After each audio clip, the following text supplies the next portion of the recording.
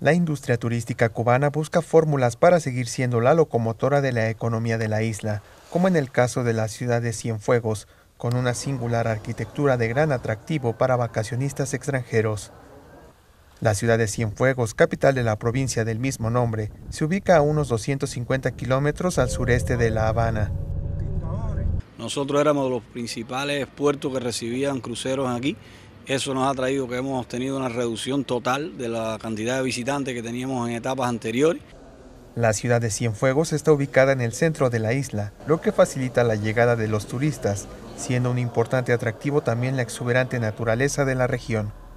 La industria tiene en ese territorio 917 habitaciones hoteleras, oferta que se complementa con más de 1.200 capacidades de renta en hostales y casas particulares.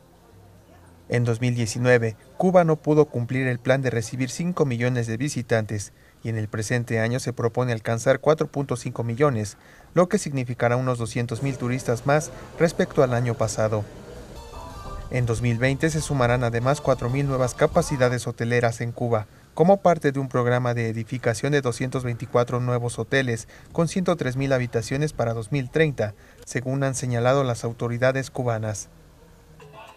Con información de la oficina en La Habana, Cuba, Noticias Xinhua.